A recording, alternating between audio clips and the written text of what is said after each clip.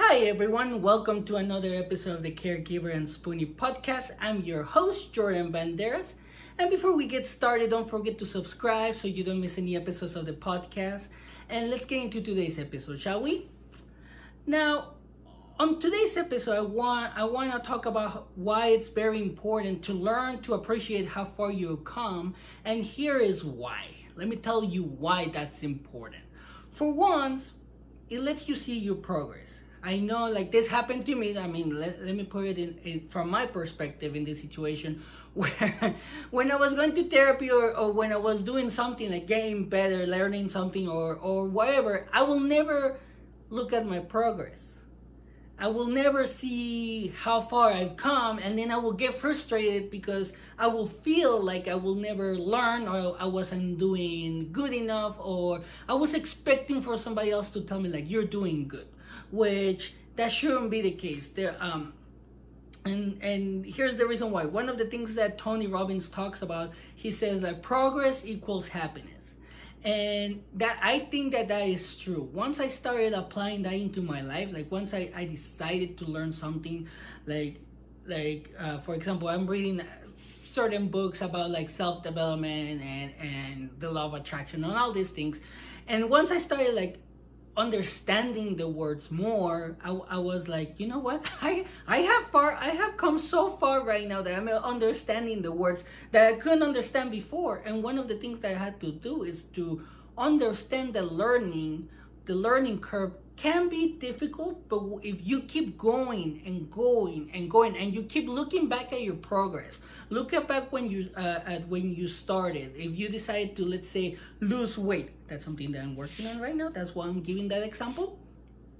Like I look at myself back when I started, like uh, losing weight. I was like, gosh, I was a little chunky. Now I'm a little skinnier. So I look at the progress and it brings me joy because it tells me like you know what i'm doing something right i'm doing something that that that I need to do for myself and I and and, and I'm pro I'm showing the progress. I can show the progress. That's why people like to take pictures of themselves when they're losing weight and and I've done it. I'm not gonna post them yet. I'm not there yet. But at one point I might, you know, like and, and I and I want you to understand this that when when you when you're going through something right now like you're going through depression you're going through through anxiety you you're spooning you have to go to the doctors. The doctors don't understand what's going on. Or they put you in, in a certain medical regimen that that you might think is not working. Remember look at the beginning. Look at the beginning of your of your journey or, or, or the beginning of whatever you decide to start doing and and then look at yourself at, at the now and be and say, and ask yourself like how far have i progressed? I, I i have a do you see any progress? Like do i see any progress? How, do i feel better? Do i feel like with more energy? Am i able to do other things that, that i couldn't do before you know? Like going out to the gym. Like it's almost like the gym literally. Let me put it let me put it to you this way. Like it's almost like going to the gym. When you go to the gym the first time you're not going to be able to lift 100 pounds right away. You start with like 20 25 or whatever your minimum is you know? And then you keep increasing it. And that's how you see the progress because you start you start looking at back and it's like you know what? A month ago i could only do 50 pounds. Now i can do 150 that's 100 pounds more. So that that's progress right there. And that happens to anybody. You can see the progress when when you go into therapy physical therapy um, mental therapy. You can see progress on yourself when you're learning something because you're gonna start understanding it even more. You're gonna you're gonna start understanding it even more. Uh what about when you cook? You know like when you're cooking and things like that you're gonna you're gonna start tasting it better you probably people are gonna like it even more or or even on on whatever you decide to do you have to see the progress. You have to look back and and see how far you've come in your progress especially when you're a spoonie because once you start looking back at your progress like for example my wife like i'm gonna give you this example. My wife when when she became sick when she got when when she became ill she couldn't drive. She couldn't literally get out of bed. Now she can drive. She can get out of bed. Um, there are other things going on right now but obviously that that that's uh, completely different to what happened. But i can i can still tell her like you know what? Look at how far you've come from when we started.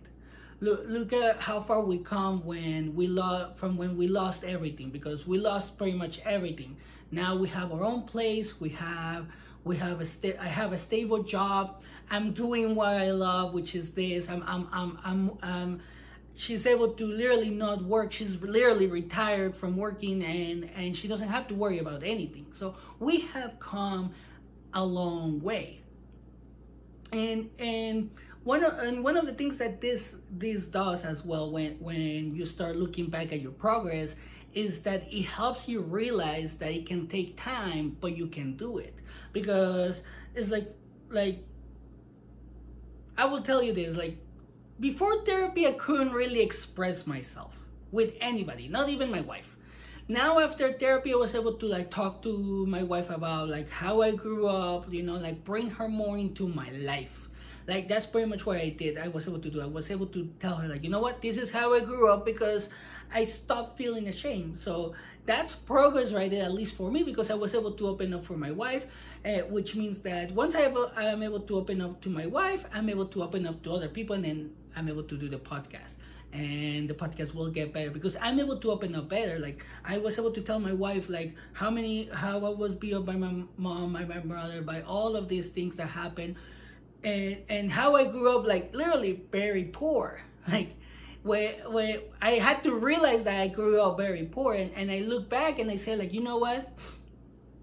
From when I grew up in Mexico to what I have now is like I have come a long way literally. Because maybe I grew up in a, in a way that I didn't think we were poor but now looking at it from where I'm at right now I was like oh shit. I was poor. Like I was poor. Not like dirt poor but I was poor. Like we had to we had to literally buy what we wanted but eat it. Like do, we didn't throw away food. And now that i live with my wife who is white we buy stuff. We don't eat it and we throw it away. I even feel bad because i was like holy crap that's i would have never been able to do that. Like i would just eat it you know like and and that's that's another thing. Like sometimes you're gonna have to look back at uh, the way that you grew up and what you're doing right now. If you decide to change something in your life you're gonna have to look at that particular area that you want that you change in your life and, and be like you know what? I used to be angrier all the time. Now i'm happier. That's progress. And and you can actually ask yourself the question like okay what what changes did i do that actually help me get better? And then you're gonna find the answer and one of the things that that this is going to do when you start looking at your progress is that it's going to build confidence. And when it starts building confidence, when you start building this confidence, what's going to do is that it's actually going to push you to do more. Because now you know you can do it. You've done so much right now. Like I've done so much right now. I know I can do whatever whatever I want. Like I have goals that I'm going to achieve and I have talked about them before and I'm gonna I'm gonna achieve them because it's like you know what from when I was growing up an abused kid a kid that felt like nobody loved him or that wasn't to be able to do anything in life and to where, where I'm at right now and what I'm able to achieve, I'm like, you know what? I can do it. I'm not that same person that started from the bottom. I'm, let's say, like in the middle and I'm going to the top. And you can do the same thing, like I said, if it's in regards to your health, to your money, to your business, to your to your family life, to whatever, you can do the same thing. You you just need to realize how far you've come in whatever you need to change. And it and, it, and sometimes we don't want to look at the small things. We want to look at the at the big things. We want something somebody to tell us, "Oh, you're doing great." But the first person that needs to realize what you're doing, it's you. Because you're doing it for you or you're doing it for somebody else. Like you're why, the reason why you're doing it.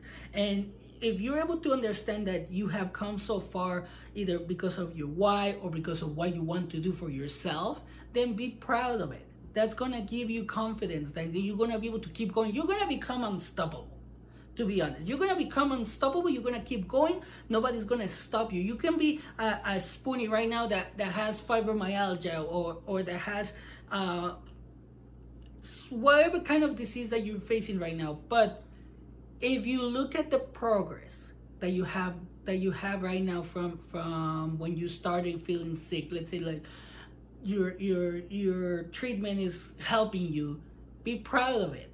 Be proud of it and say like, you know what? I can do this. I can keep going. I I'm not gonna stop until I get better. I'm not gonna stop until I, until I reach a specific goal. But you also have to put a specific goal. That way you can actually know what you need to progress towards. And when you look back and when you get closer to that goal, you can actually look back and say, you know what? Look at where I started and look at me now.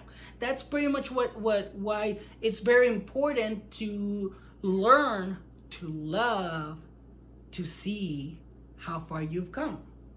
And like i was saying you sometimes you don't want to you don't you don't see the small things which is, is it, that was hard for me because i was when i was going to therapy and changing everything that i had to change with myself within myself like you know like my anger issues my the way that i speak towards people or with people um i noticed that I was able to change that, and once I was I was able to change that, I I looked sometimes when I'm when when things happen when I would get mad, I would look back and say like, you know what, this will put me over the edge before. Now, I I, I can react to towards that situation in a different way that doesn't even make me stress. So I'm like, you know what, I'm proud of that.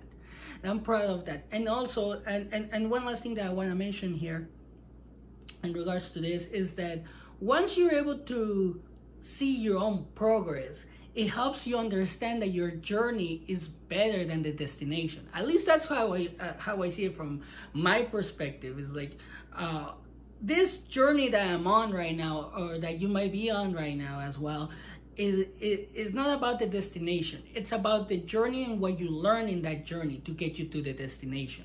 That's what you had to to understand to to love the progress that you that you have achieved. It can be it can be like I said like I've said before, one person or two percent or a hundred percent progress. It's still it's it's progress. You know, like if if you if you like uh, if you're like me, I like to let's say like check in with myself every every every week every weekend i look back at during the weekend and I, will, I always tell myself or i always ask myself what did i improve on this week and then i make a list and I was like, you know what? This is pretty good. So you can do something like that. Like there's nothing wrong with that. Remember, you're a spoonie, you go or you're a caregiver or you're going through something. Everybody's gonna go through something, especially with with everything that's going on right now. There's a lot of stress going on around because of, of current events. So look at your progress because that's what's gonna help you get rid of some of your stress because you might you might try to learn something new to improve your life but with everything that's going on right now you might feel stressed about it. you might be like i don't have time. I don't have this. I don't have i don't have the knowledge. I, I don't think i can do it. But if you look back after you started and you understand that you have done some kind of progress no matter how small it is then you're gonna enjoy it. You're gonna be like you know what? I can keep going. But that's pretty much what I wanted to talk about today. Thank you for your time. Thank you for, for your feedback. I really, really appreciate it. Thank you for the new uh, subscribers, the new uh, listeners. I really, really appreciate it. Thank you for everything that you guys do. Um, and we're making the, the community grow. So don't forget to share, like, and subscribe. You can and you can follow us on TikTok, Instagram, Facebook, YouTube. And also, um, if you want to share your story, don't forget to share it at the caregiver and spoonie at gmail.com. You can post it on Facebook as well. Um, you can send it to me anonymously at the email. And I leave you like always. As always, take care of yourself.